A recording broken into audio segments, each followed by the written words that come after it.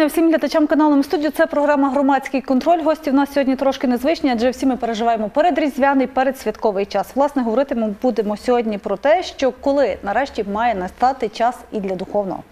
Гості програми отець Василь Копин, священик Мукачівської греко-католицької єпархії, отець Євген Фізер, священик Мукачівської дієцезії Римсько-католицької церкви та архімандрит Тихон, священик Мукачівського монастиря.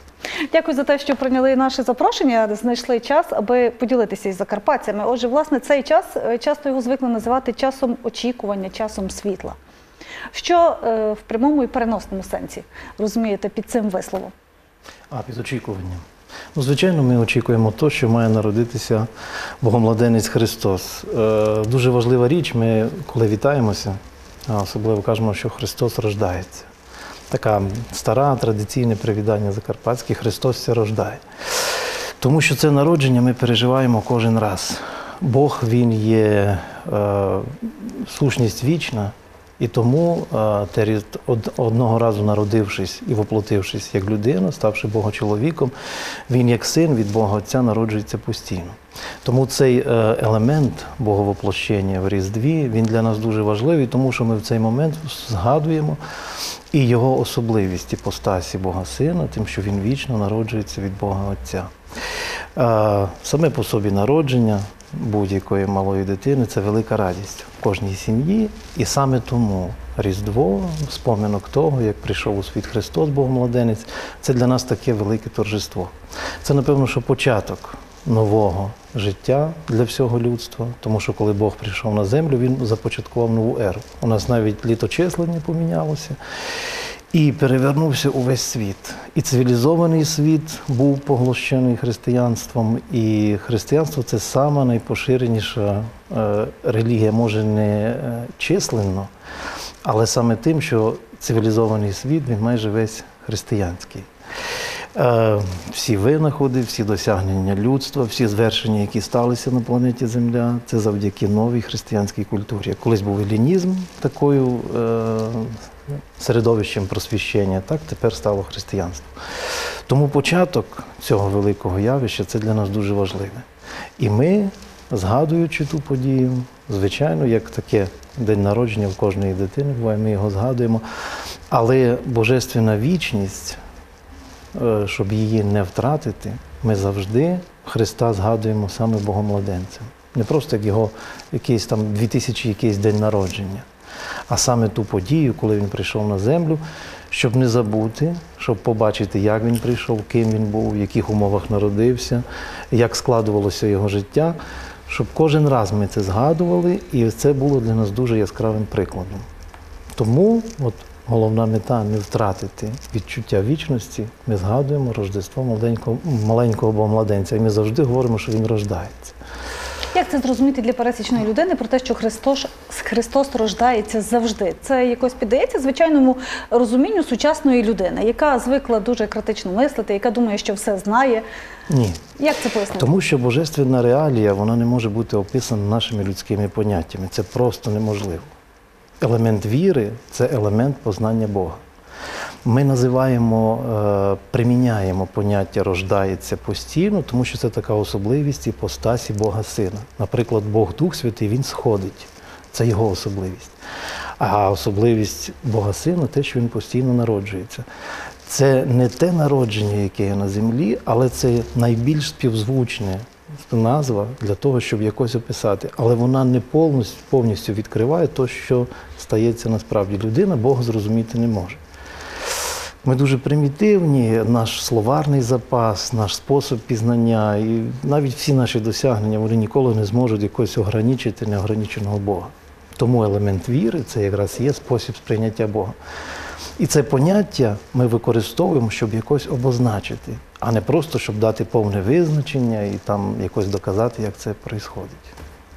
Дякую, отець Василь. Отець Іван. Ми нашими, е, звичайно, ми погоджуємося з цим Тихоном, що в дійсності нашими людськими вимірами, чи людськими словами, чи людською дійсністю ми не можемо е, поєднати ту божественність. І нам потрібна віра і елемент віри, те, що є в кожного християнина, е, нас спасає. І без віри неможливе, бути, неможливе наше спасіння одночасно. Одначе, ем, якщо так подивитися в історію праздника Різдва Христового, то спочатку е, це був збірний праздник. Тобто його спочатку святкували разом із богоявленням. І Різдво вже з плином часу, десь в 5-6 столітті, починає е, виокремлюватися як окреме, окреме свято. Але тут ми маємо і заповідь Христа, коли він на тайній вечері ем, безніс чашу і ламав хліб, то він каже: робіть це на мій спомин, бо кожного разу, коли їсте цей хліб, то мою е, смерть звіщаєте, моє Воскресіння і сповідуєте. День народження Ісуса Христа ми не прив'язуємося виключно до дати. Тобто це є народження нашого Спасителя, що від цього моменту починається наше спасіння. Це початок нової ери, нової цивілізації, але є це початок спасіння християн. Отець Євген, у Римсько-католицькій церкві за чотири тижні починають запалювати свічки до Різдва Христового, так? Свічки Адвенту, які означають світло. З чим пов'язана така традиція і що ви про це скажете? Е, Ці чотири свічки це чотири неділі Адвенту. Адвент це час, коли ми очікуємо на Різдво Ісуса Христа, на Його народження. І ці чотири свічки е, означають те, що Бог приходить як світло. Так, і третя свічка, вона інакшого кольору, всі фіолетові, одна розова, е, рожева, вона означає е, цю радість, е, радісне, радісне очікування. І ми не називаємо цей час постом, час перед Різдвом, але це час радісного очікування. Так як для мене таким прикладом є, коли, наприклад, батько в сім'ї працює десь за кордоном, наприклад, і сім'я знає, що батько має повернутися додому там, через місяць, скажімо, то вони всі чекають з радістю, вони не сідають плакати. Е, але вони чекають, е, коли вже цей батько повернеться. Так? Е, Тому для нас е, цей час Адвенту є таким радісним чекати на того, хто є найважливіший в нашому житті. Е, Які є особливості цього часу? Знаєте, наше Закарпаття багате і напевно прекрасне, тим, що воно є дуже різноманітне, дуже багато як мозаїка різними традиціями, які, слава Богу, поєднуються, вживаються. Всі живуть в мирі, в спокої, в добробуті, але щось очевидно є спільне, так для всіх, скажімо, трьох конфесій, які ось. Христос. Спільним для нас усіх є Христос, Його народження. А вже, і, вже традиції це лише форма е, нашої традиції чи форма римсько-католицької традиції, в якій ми очікуємо. І це кожна форма, кожна е, форма вона має свій зміст, має свій символ і має своє життя. Адже якщо вона зберігається як вже віками, значить вона є дійсністю і вона є доброю. Ну, Напевно, об'єднуючи всі. А традиція колядувати. Колядують всі. Я не знаю тих людей, хто не колядує. У нас є навіть такі цікаві моменти, що люди, які відносяться вже до нових таких релігійних формувань, нового толку, е, які не ходять в церкву, збираються на такі е, зібрання, це майже євангелісти чи якісь там другі такі е, нові християнські конфесії. Навіть вони крадькома, деколи в селах приймають наші традиційні коляди. Вони навіть перейшли вже в другу християнську конфесію, яка їм чомусь не дозволяє приймати коляди. Але вони йдуть на такі хитрості, тому що ця традиція вона якось дуже всіх об'єднує, і саме та радість Різдва найбільше виражається в традиції колядувати. Вона дуже різна у наших регіонах. І я пам'ятаю тільки верховенську традицію, Воловецьку. Там в кожному селі колядують по-своєму. І навіть самі колядки і самі мотиви мелодії вони схожі, але трішечки чимось відрізняються. І ця різноманітність вона дуже цікава. От якщо подивитися, то просто якась унікальна річ. В селі вулиці мають е, предпочтення до якоїсь певної колядки, навіть в одному селі. І тому ця різноманітність традиційна, вона, напевно, що всім притаманна, і вона є дуже таким яскравим вираженням цього різдвяного торжества. Ви пам'ятаєте, як ви ходили колядувати в дитинстві? Ну зараз я не кажу, тому що це так само. Це найприємніші спогади з нашого дитинства. Але я би не сказав, що дитинство я колядував як е, у вертепі аж до 11 класу, поки не закінчив 11 клас. А вже після того вже е, можна сказати інший рівень чи інші колядки. Але е, все своє дитинство це було час Різдва, це час очікування, це час підготовки, готування вертепу, готування нових колядок, е, нових слів, нових віршів, е, нових привітань, нових віншувань. Е, Ну, це дитинство надзвичайно, надзвичайно прив'язувало до чогось, до чогось особливого. Що для дітей це була така форма очікування, що вони готувалися. Тобто кожен період нашого життя він є, має свою форму, е, форму підготовки. Батьки там порпаються біля, е, біля каструлі. е, Хтось готує на дворі, хтось прибирає, а діти мають ту особливу таємницю, що вони в цьому часі отримують свободу, що вони можуть співати, можуть ходити, можуть е, без старших е, прославляти Господа Бога. Можливо, вони це до кінця не усвідомлюють, але це щось надзвичайне. Тетя цього бачу, ви посміхаєтеся. Спогади приємні. Так, я так задумався і почав згадувати ці е, колядування в дитинстві. І згадав те, що е, часто в дитинстві ми колядували, так як отець Василь каже, не усвідомлюючи цього. Е, звичайно, в цьому є прославлення Бога, але часто це такий маленький бізнес, е, в якому ходили для того, щоб е, там щось собі заробити на якісь цукерки. Так? І не усвідомлюючи цього, але добре, що така традиція є. Ну і власне до чого я веду в цей час дуже багато уваги звертається на дітей. Так, Е, колядки, подарунки для дітей. На що варто би звернути, очевидно, справжню увагу в цей час? Зокрема, і що стосується дітей, дитячого виховання, чи це мають бути подарунки в чобіточках, е, солодощі, чи можливо це щось трошки інше має бути не настільки комерціалізоване, як ми звикли говорити зараз. Ну, напевно, що я пам'ятаю, у нас все-таки в Воловці дуже унікальна традиція. Різдво, ще самий святий вечір, коли в хату заносять сіно, всі коври знімаються, стелиться просто багато сіна. Там, звичайно, там цукерки якісь кладуться, горішки, діти їх потім шукають. Але дуже цікаво було, що батько, голова сімейства, він перед тим, як починалася свята вечеря, він заходив і говорив слова, що дай Боже, щасливий святий вечір. І розказував, що це таке. Ось така традиція навіть на рівні е, виключалося світло, горіла свічка, мама свічку прикривала якимось платком. Мала бути така атмосфера спеціальна.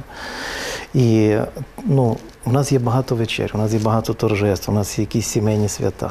Але це свято, воно таку мало особливу ауру, якщо її можна так назвати, таку загадковість, е, таку унікальність, що воно залишалося на все життя. І це, ця добра традиція було б добре, якщо б вона оставалася. Треба якось виділити Різдво. Ну це ж все, і сіно в хаті, це імітація того, е, те вертепу, де народився Богомладенець Христос. І вся атмосфера, яка создавалася батьками в кожному домі, це дуже важливо, тому що не треба нічого говорити. Є наглядний приклад, що ми шануємо пришедшого Богомладенця Христа. Коли це просто якесь свято, співають якісь пісні, так як зараз ну, в Європі кажуть, що багато людей навіть не знають, що таке Різдво. Вони вітаються там Merry Christmas, чи як, але вони не знають, що це означає. Що треба робити, аби це залишилося не лише формально? зберегти оці традиції. Все-таки вдома, в сімейному крузі, треба відтворити ту атмосферу народження Богомладенця. Як можна самому або взяти якісь добре, у нас лишилися старі традиції. Наприклад, в селі там ще якось воно так зберігається. Уже в місті того ніхто не зробить, особливо якщо- людина живе в багатоквартирному будинку, ніхто не буде бігати з сіном. І... Але саму ту атмосферу, хоч в якомусь форматі, треба було б відтворити. Для дітей саме наглядно це приклад, не слова, які ми скажемо. І тому, коли ми відтворюємо цю подію, ну в якомусь особливому домашньому форматі, вони про це обов'язково запам'ятають. І вони, коли подорослішають, неважливо, як складеться їхнє життя, вони будуть знати, що це таке Різдво. Що вони святкували народження Богомладенця Христа. Вони будуть знати, що він народився в Віфлеємі, що його положили в яслях, що там була тільки худоба його батьків в дуже таких скрутних условіях, тому що дитина буде питати, а чому саме сіно, а чому ми так виключаємо світло, горить свічка, а чому така трапеза? Я пам'ятаю, коли я вчився у Львові, я потрапив на львівське святкування в селі в Миколаївському районі е, святвечора. Це було унікальне явище, ще, як кажуть, краще, ніж у нас.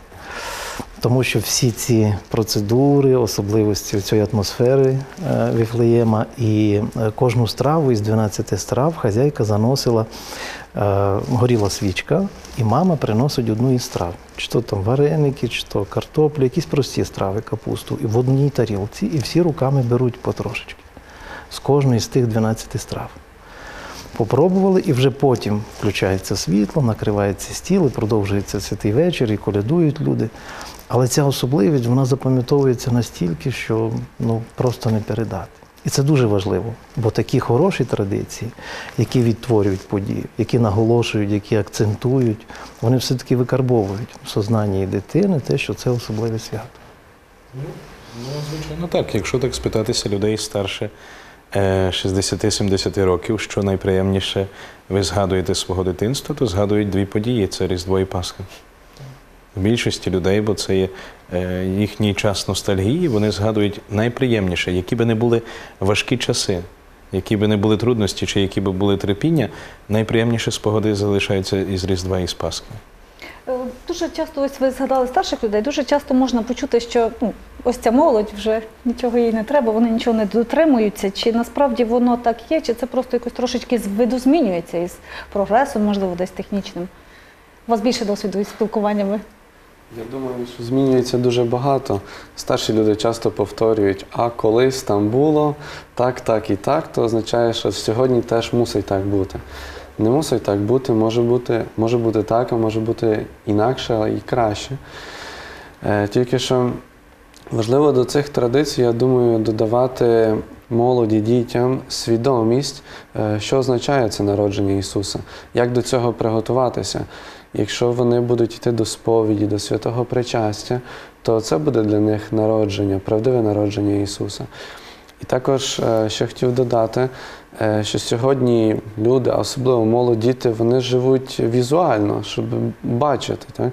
Всі в інтернеті, в е, мобільних телефонах хочуть дивитися, то так само нам варто пропонувати їм. Певні такі методи євангелізації, в яких вони можуть також бачити щось про це Різдво, про це народження, ці сценки, які робляться, напевно, в різних парафіях е, на Різдво, щоб вони могли бачити, що це таке. Добре, які сучасні методи евангелізації церковного життя пропонує церква? Отець Василь, нововведення у вас є таке гарне, навіть через мережу Фейсбук можна спостерігати за літургіями, так, які Так. ви служите. Це допомагає. Людям багато хто дивиться ну, онлайн, можливо, це десь не дуже правильно. Так? Ну, я маю на увазі суто для вірників, але ті, які не мають можливість, то це перевага. Це перевага, але е, яка була головна мета ввести в прямому ефірі літургії? Це саме потреба наших заробітчан і тих людей, які не можуть прийти до церкви. Тобто вони мають можливість користуватися засобами сучасного зв'язку. І, і головна потреба те, що наші парафіяни, які є на заробітках, вони просили, чи можна би було так, тому що не. Приходячи на нове місце роботи, вони не завжди можуть собі дозволити прийти до церкви в неділю, або навіть в неділю вони працюють. І, і з тої потреби, це так як раніше було Радіо Ватикан, і воно по сьогоднішній час діє, що літургія передається в прямому ефірі, але тоді була потреба в тому, щоб е, в тоталітарному режимі, в якому ми жили, щоб людям подавати Слово Боже. На теперішній час е, нічого не змінилося, лише потреби інші. І тому ми маємо дуже багато е, відгуків, і багато людей дивляться саме, саме найперше з-за кордону з цілого світу, і тих людей, які є. Е, Які вдома приковані до ліжка або не можуть собі дозволити прийти до церкви через різні фізичні вади. Але це один із способів. Церква використовує всі способи можливі, е, щоб доносити Слово Боже. І ми повинні цим користуватися, бо це є е, сучасність. Якщо б апостоли мали е, інтернет на той час, Wi-Fi, я думаю, що вони б його використовували дуже, дуже активно. Апостол Павло з апостолом Петром би були, е, мали б найперше найбільше кількість від- найбільше підпис, підписників в інстаграмі, якщо би було це на той час. Але на той час вони користували, користали словом. Ну, так як в часі Ісуса Христа не було прикладом, е, не було ем, звичаєм писати. Мало хто писав тоді на той час, але вони вивчали і знали цілі, е, цілі книги старого заповіту на пам'ять. На той час це було переповідання. Вони вони переповідали. А потім прийшов час, коли вже е, почали писати і література, і вже книги писалися, і тоді передавалося письмо. А на теперішній час ми використовуємо різні засоби. Це і бікборди, і сітілайти, все, що, е, все, що є принагідне і що може спонукати людину замислитися над своїм життям е, і замислитися над вірою.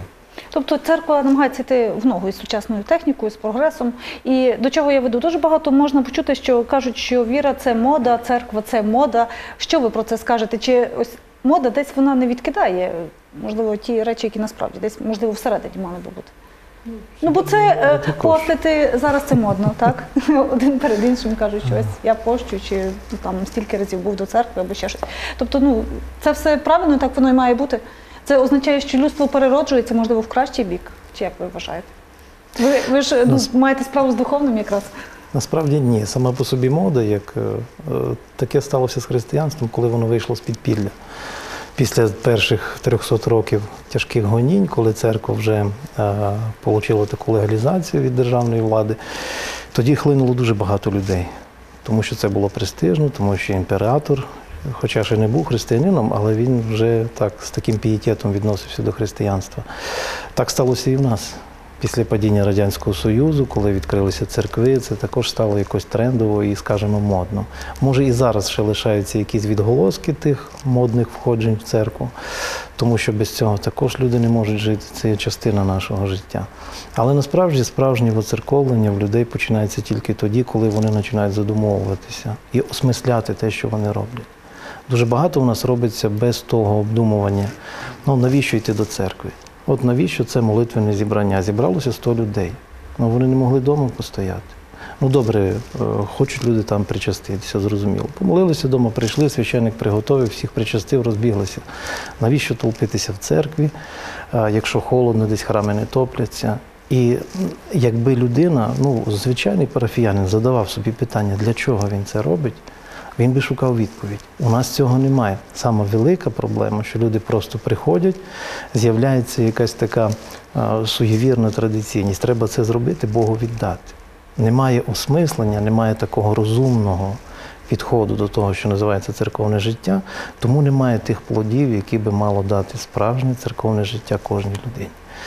Якщо б всі парафіяни у всіх конфесіях почали думати, картина була б зовсім інакша. На жаль, зараз все робиться по такому остаточному принципу. Тобто в людини є робота, в людини є якісь хлопоти, є сім'я, діти. І, звичайно, людина, як не дурна, казав е, пророк Давид, що рече безумін, ніс Бог. Тільки людина ненормальна може сказати, що Бога немає. Всі розуміють, що Бог є. Значить, з ним треба якось теж відносини вистраювати. Але він на такому неважливому місці зазвичай в нашому биту, що йому залишається дуже мало часу. І тому такі е, традиційні підходи в неділю сходити до церкви, взяти причастя, якісь молитви вдома почитати, може пости, соблюсти. Це дуже людей устраює в тому плані, що не треба особо напрягатися. Не треба про це думати. В мене є такий варіант. Багато хто говорить, мені цього достатньо, я більше нічого не хочу знати. От то, що я роблю, то мені достатньо. І тому необдуманість, безсмисленне таке церковне життя, воно, на жаль, дає такі тяжкі плоди. Яке має бути справжнє церковне життя? Ось дуже мені сподобалося, як ви щойно сказали, що люди думають, ну ось не треба напрягатися, так відбути якісь речі, скажімо, які перетворюються в Треба задати питання. Насправді як воно має бути? Шлях віри це ем, не, не рекламний ролик за один ефект, що він е, проявився, чи ми показали це по телебаченню, і воно людину спонукало, і людина починає вірити. Віра це процес. І, і в, в кожному періоді він є різним процесом. Це є шлях до Господа Бога. І для кожного шлях є різний. І Господь Бог дає кожному свої випробування, е, свій шлях, життєвий шлях, е, свої, е, на ко- кожного є свої спокуси. Навіть Господь Бог каже, що воно добре, щоб спокуси приходили, щоб випробувати кожного, кожного, але горе тій людині, через яку ті спокуси приходять. І тому е, я би сказав, що ми не знайдемо е, ідеального підручника, який би описав, яка це є яка є це справжня віра е, е, і плоди справжньої віри Тому що е, це не, це не вимірюється ні в підручниках, ані ні схематично цього не можемо пояснити. Ми живемо за Євангелієм. Якщо ми стараємося своє життя вести за Словом Господнім, то воно і приносить плоди. Але сказати, що якщо ця людина зрішила, то вона вже не віруюча, ну це вже є великий сумнів. Дуже часто ми так ем, приходимо до храму і дивимося так: ну хто до цього храму ходить? А там є той, той, той, той. Якщо вони такі грішники, то я в цьому храмі не знаходжу собі місце. Нащо мені це, це місце, якщо там такі грішники ходять? Якраз що до храму приходять грішні люди, і вони шукають спасіння, шукають покаяння. Ну, якщо Господь Бог їх привів до храму, то вже завдання священнослужителів навчити їх, показати їм шлях до Господа Бога. А у кожного шлях це є свій особистий шлях. Мода постійно змінюється, бо там було питання про моду.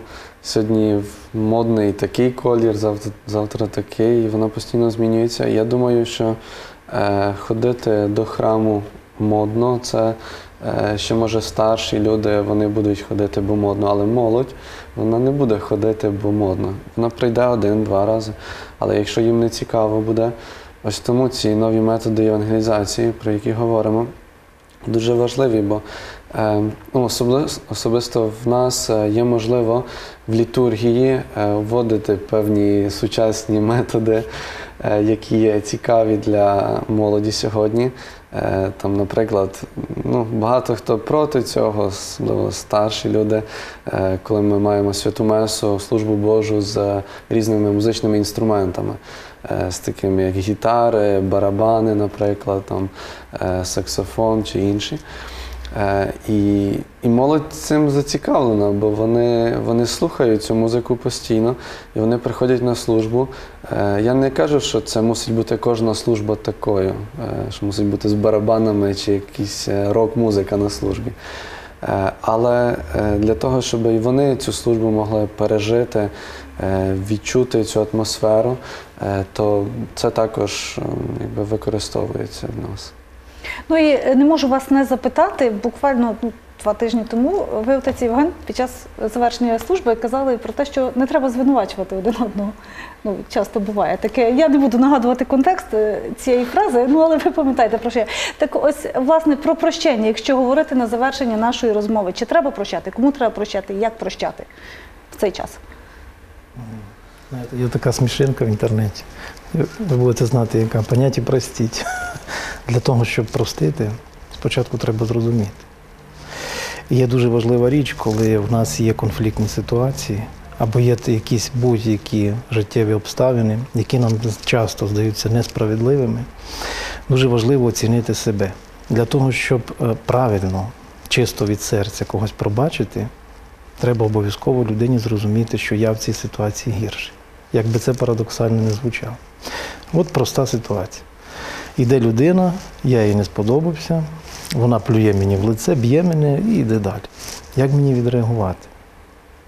Як, як нам буває? Мені буває обідно, е, народжується злость, хочеться якось відомстити, віддати, показати. Може, може бути дуже багато реакцій. У кожного своя. Але насправді, коли ми починаємо звертати увагу на себе, то та людина, яка зробила цей поступок, це просто один поступок. Він або вдарив, або щось сказав, якесь погане слово, ну або ще щось зробив таке неординарне. Я лишаюся з чим? З обідою, яка з'їдає мене одну годину, другу, цілий день, тиждень, деколи роками.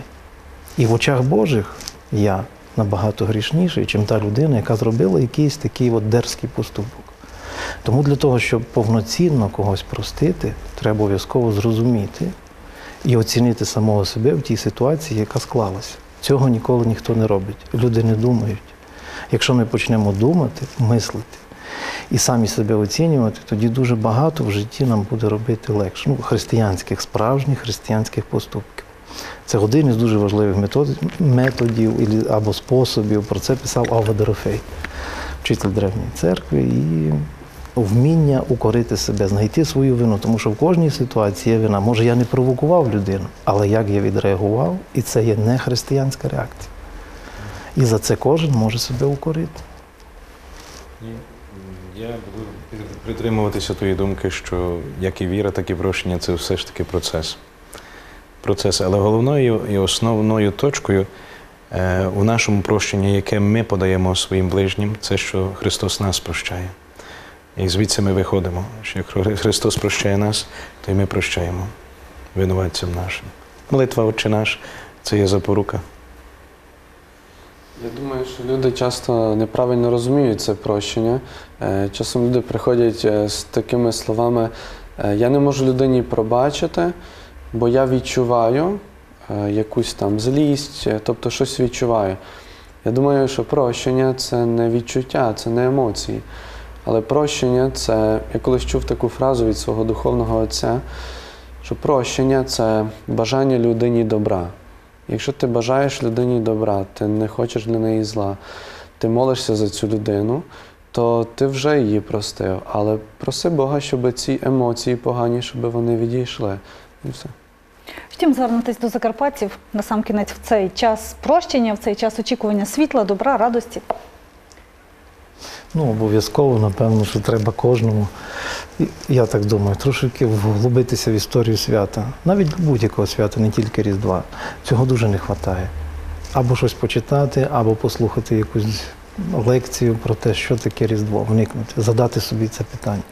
А що це було, а навіщо прийшов Христос на землю, як Він зробив це спасіння?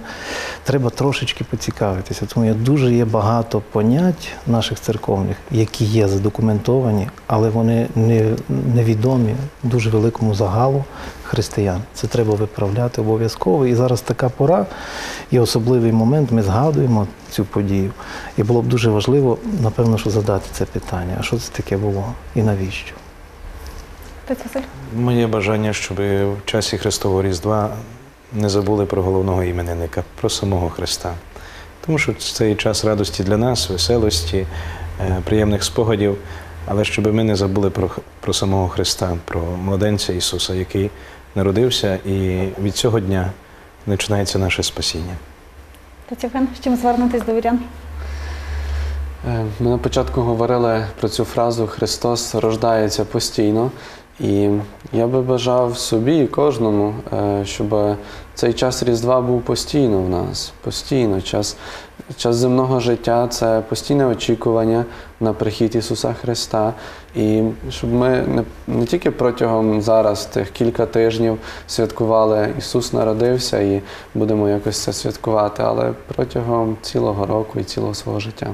Дякую вам за те, що прийшли до нас. Нашим глядачам я нагадаю, це була програма Громадський контроль. Говорили ми сьогодні більше про духовні речі, ніж про політичні та економічні. Ну і власне, як казали гості нашої програми, не забувайте про головного, про винуватця свята, які ми незабаром будемо всі святкувати. Тримайтесь і нехай все буде добре.